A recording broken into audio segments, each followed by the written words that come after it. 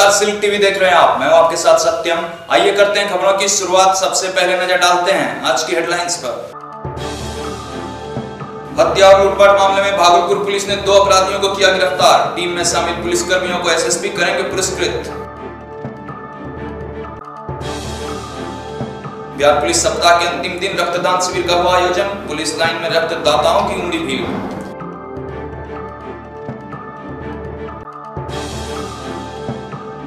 DMU copy बिक्री मामले में कुलपति पर उठ रहे हैं सवाल। पूर्व प्रभारी कुलपति ने कहा, राजभवन में होनी चाहिए मामले की जाँच।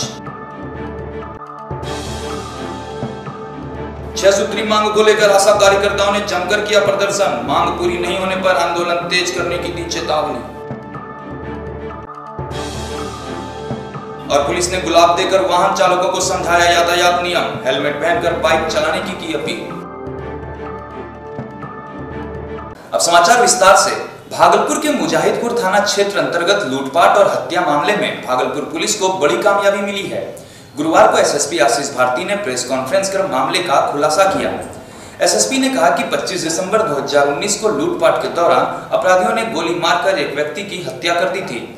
मामले की छानबीन के लिए सिटी एसपी सुशांत कुमार सरोज के नेतृत्व में विशेष टीम का गठन किया गया। जाँच में पाए गए साक्ष्यों के आधार पर पुलिस मुख्य आरोपी सबौर निवासी आशीष कुमार सिंह, उर्फ़ मानू एवं छोटू उर्फ़ ऐचा को गिरफ़्तार कर लिया है।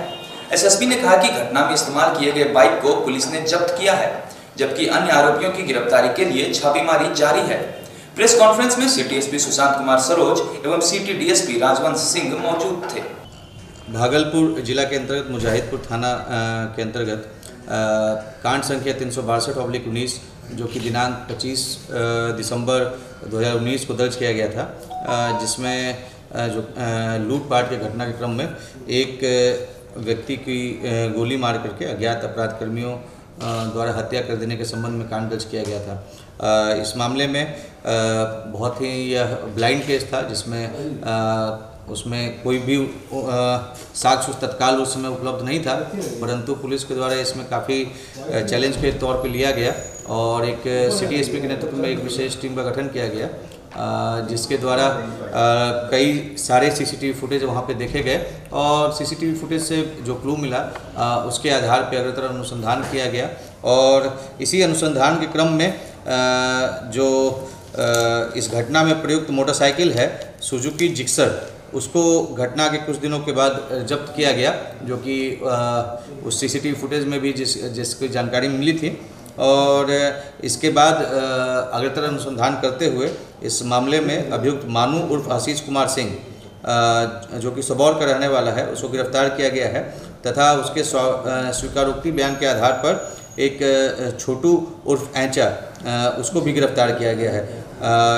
जो छोटू इन अभियुक्तों के अलावा और भी कुछ अभियुक्त हैं जिनकी गिरफ्तारी के लिए छापेमारी की जा रही है। जल्द ही उसको भी गिरफ़्तार किया जाएगा। इस मामले में जो पुलिस टीम है, उसको पुरस्कृत किया जाएगा। भागलपुर पुलिस केंद्र परिसर में बिहार पुलिस सप्ताह के अंतिम दिन गुरुवार को लहू हमारा जन सेवा कार्यक्रम के तहत रक्तदान शिविर का आयोजन किया गया। बिहार पुलिस की ओर से आयोजित रक्तदान शिविर में तमाम पुलिस कर्मियों एवं उनके परिजनों की स्वास्थ्य जाँच की गई। इस दौरान काफ़ी संख्या में पुलिस कर्मियों एवं उनके परिजनों ने बारी बारी से पंजीयन कराया और स्वास्थ्य जाँच के साथ कई पुरुष एवं महिला पुलिस कर्मियों ने रक्तदान किया। रक्तदान में पुरुषों के साथ महिला पुलिस जवानों ने भी बढ़ चढ़ हिस्सा लिया और अपनी सामाजिक ज़िम्मेदारी का निर्वहन किया। जवाहरलाल नेहरू मेडिकल कॉलेज अस्पताल के ब्लड बैंक की टीम के द्वारा पुलिस कर्मियों की जाँच कर रक्त एकत्रित की गई। इस दौरान पुलिस कर्मियों में खासा उत्साह देखा गया। एसएसपी आशीष भारती ने कहा कि बिहार पुलिस सप्ताह के अंतिम दिन रक्तदान शिविर में काफ़ी संख्या में पुलिस कर्मियों ने रक्तदान किया और आगे भी भागलपुर पुलिस अपनी ज़िम्मेदारी का निर्वहन करती रहेगी, जिससे जनता और पुलिस के बीच संबंध बेहतर बना रहे। पुलिस सप्ताह का आज आखिरी दिन है और ये पिछले 22 फरवरी से ही चलाया जा रहा है। इस इसी कड़ी में आज जिला स्तरीय तीन चार कार्यक्रम आयोजित किए गए, जिसमें सब सर्वप्रथम पुलिस लाइन में पुलिस कर्मियों एवं पुलिस पदाधिकारियों एवं उनके परिजनों के लिए एक हेल्थ चेकअप कैंप का आयोजन किया गया जिसमें कई पुलिस कर्मियों की हेल्थ की जाँच की गई है। इसके अतिरिक्त पुलिस कर्मियों ने एक इस समाज की सेवा की भावना से काफ़ी जो ब्लड डोनेशन कैंप उसको आयोजित किया गया था पुलिस, भागलपुर पुलिस के द्वारा। जिसमें जो जानकारी प्राप्त हुई थी कि काफ़ी मात्रा में ब्लड डोनेट किया गया है पुलिसकर्मियों के द्वारा।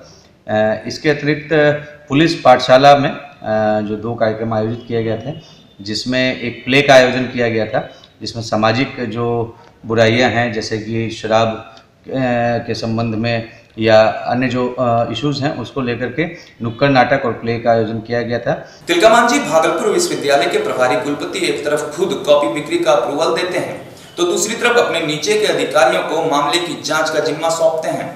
ऐसे में बड़ा सवाल यह उठता है कि जब प्रभारी कुलपति प्रोफेसर अवध किशोर राय ने खुद कॉपी बिक्री का अप्रूवल दिया तो उनके नीचे के अधिकारी मामले की जाँच कैसे करेंगे? इधर रजिस्ट्रार कर्नल अरुण कुमार सिंह द्वारा जारी की गई जाँच कमेटी की अधिसूचना में कमेटी के अध्यक्ष का ज़िक्र तक नहीं है। ऐसे में बिना परचेज एंड सेल कमेटी की अनुमति और बगैर टेंडर के कॉपी बेचने के लिए जाँच कमेटी में अब पेंच फंसता दिख रहा है। दरअसल डीएमबीयू में कॉपी बिक्री का मामला सीनेट की वार्षिक बैठक में सीनेटर डॉक्टर मृत्युंजय सिंह गंगा ने उठाया था, जिस पर कुलपति प्रोफेसर अवध किशोर राय ने कहा था कि कॉपी कब और कैसे बिकी, इसकी जानकारी उनके पास नहीं है। वहीं इस मामले में जब प्रति कुलपति प्रोफेसर राम यतन प्रसाद से बात की गई तो उन्होंने कहा कि कुलपति के आदेश से ही कॉपी बेची गई है। इधर कॉपी बिक्री मामले पर डीएमयू के पूर्व प्रभारी कुलपति प्रोफेसर छमेंद्र कुमार सिंह ने कई सवाल खड़े कर दिए हैं और पूरे मामले की जाँच राजभवन से कराने की बात कर रहे हैं। मीडिया माध्यम से, अखबार से और अन्य माध्यम से जानकारी मिली कि विश्वविद्यालय में पुरानी कॉपियों की बिक्री हुई है। और वो बिक्री के लिए एक विश्वविद्यालय में एक कमेटी होती है, सेल्स एंड परचेज कमेटी।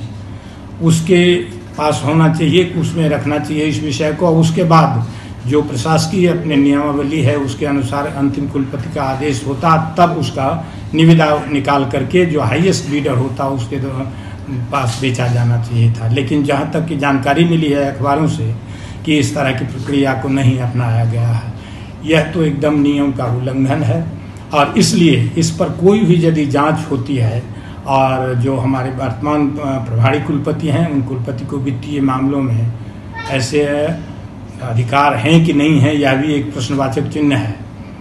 यदि है भी तो उसको नियमों नियमों का उल्लंघन हुआ है, बिना सेल्स परचेज कमेटी का ही किया गया है। और यदि नहीं है, तब तो ये तो मामला और ही गंभीर बनता है।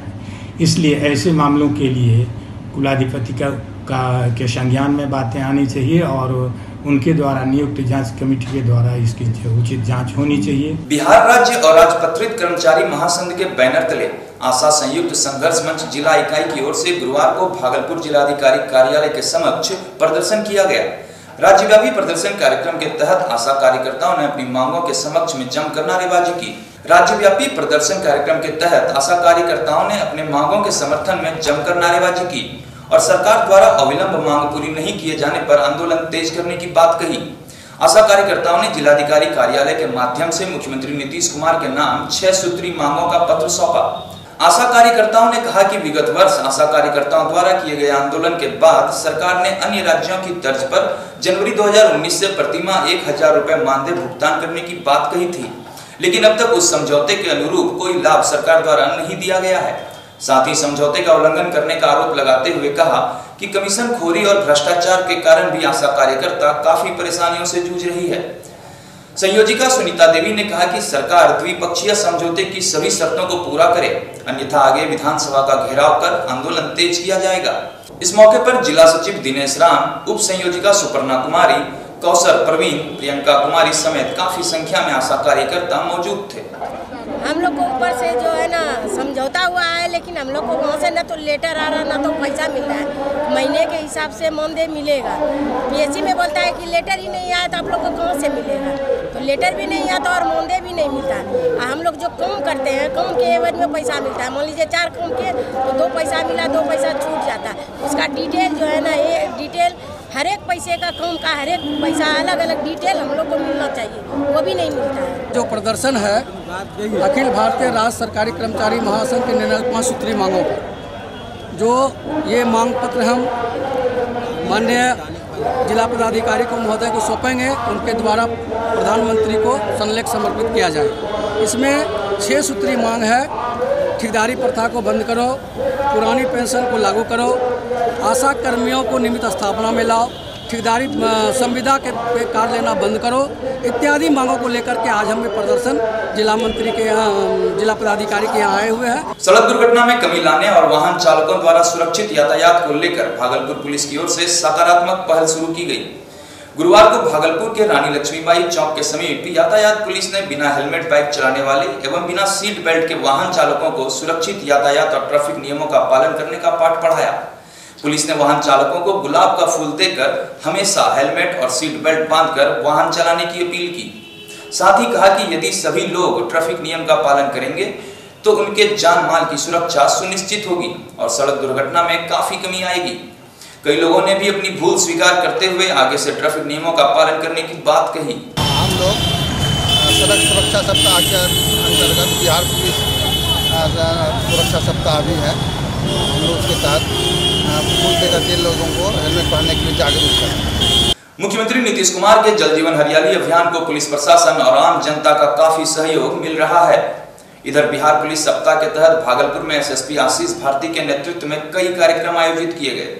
जलवायु परिवर्तन और पर्यावरण संरक्षण को लेकर पुलिस कप्तान आशीष भारती भी गंभीर दिख रहे हैं। एसएसपी ने एक तरफ़ जहाँ खुद मीराचक गाँव को गोद ले रखा है, वहीं दूसरी तरफ़ सभी थाना अध्यक्ष को अपने क्षेत्र में जन जागरूकता फैलाने का निर्देश दिया है। इसी कड़ी में एसएसपी ने सनोखर अमडंडा और रसलपुर थाना क्षेत्र के तालाबों को पुनर्जीवित एवं सौंदर्यीकरण करने की बात कही। अ, भागलपुर पुलिस के द्वारा 22 फरवरी से लेकर 27 फरवरी तक बिहार पुलिस सप्ताह भागलपुर में काफ़ी ज़ोर शोर से मनाया जा रहा है और इसमें विभिन्न कार्यक्रम आयोजित किए गए हैं। जिसमें एक जो कार्यक्रम है जल जीवन हरियाली से संबंधित उसमें सभी थानों को निर्देश दिया गया कि वो अपने क्षेत्र के कम से कम एक था, एक तालाब का अ, उसको गोद लें और उसका अ, उसको पुनर्जीवित करते हुए उसका सौंदर्यकरण कराएँ।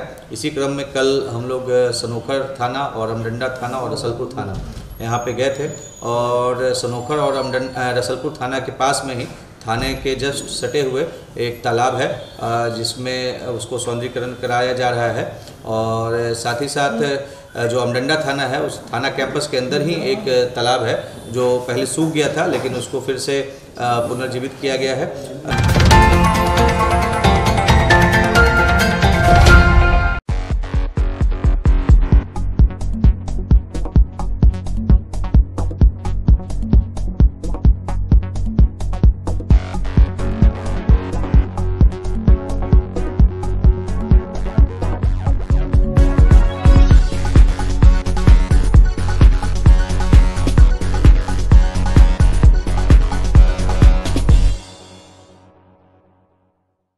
हाँ, अब आपके शहर भागलपुर में विश्व स्तरीय पढ़ाई की सुविधा पहली बार। जीडी गोइंग का public school CBSE curriculum nursery से सेवेंथ तक की पढ़ाई। Centralised air condition campus AC bus with GPS and CCTV चाहे आवासीय हो या डे स्कॉलर बच्चों के सर्वांगीण विकास के लिए पढ़ाई के साथ साथ योग, खेल, कला और ई लाइब्रेरी भी। हमारा पता है जीडी गोइंग का पब्लिक स्कूल जी छो Bishanpur Bhagalpur contact number seven six seven two eight zero zero zero one zero admission is going on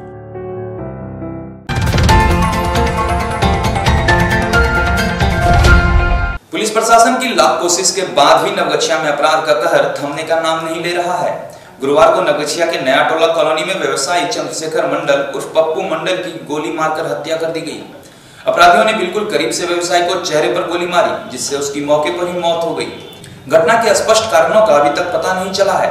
स्थानीय लोगों से मिली जानकारी के अनुसार घटनास्थल के पास लगे सीसीटीवी कैमरे में दिखे फुटेज में पप्पू मंडल कुरकुरे खरीदकर पत्नी नीतू देवी के साथ घर वापस जा रहा था।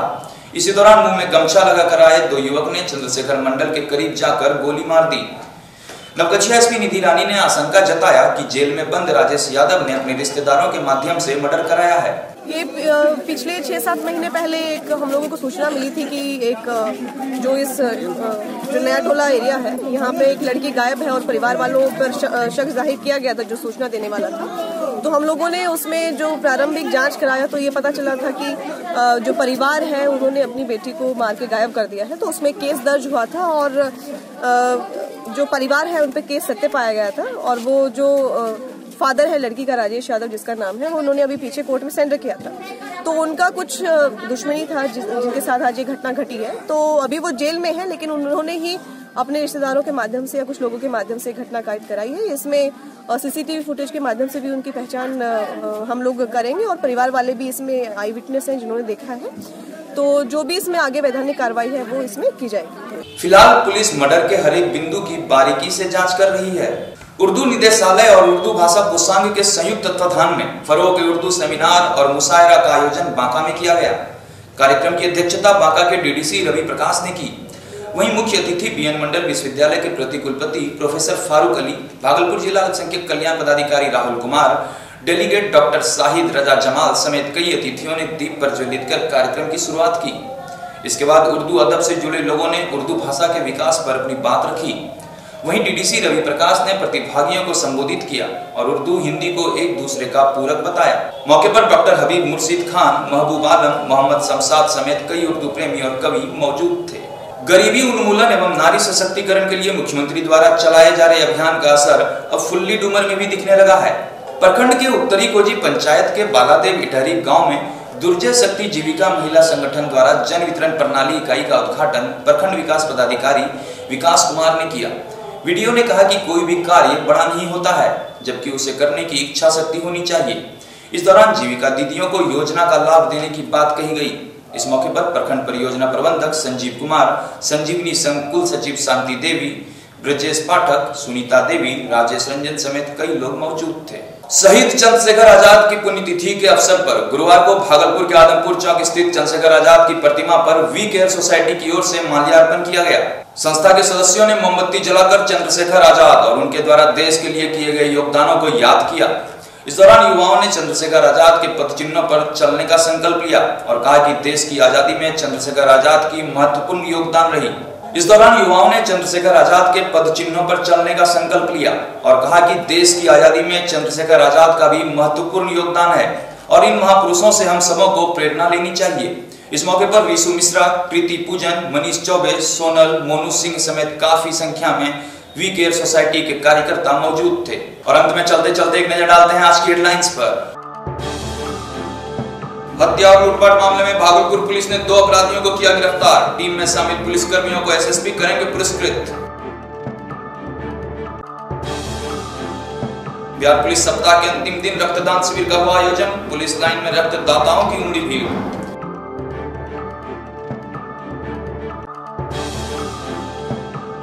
डीएमयू कॉपी बिक्री मामले में कुलपति पर उठ रहे हैं सवाल। पूर्व प्रभारी कुलपति ने कहा, राजभवन में होनी चाहिए मामले की जाँच।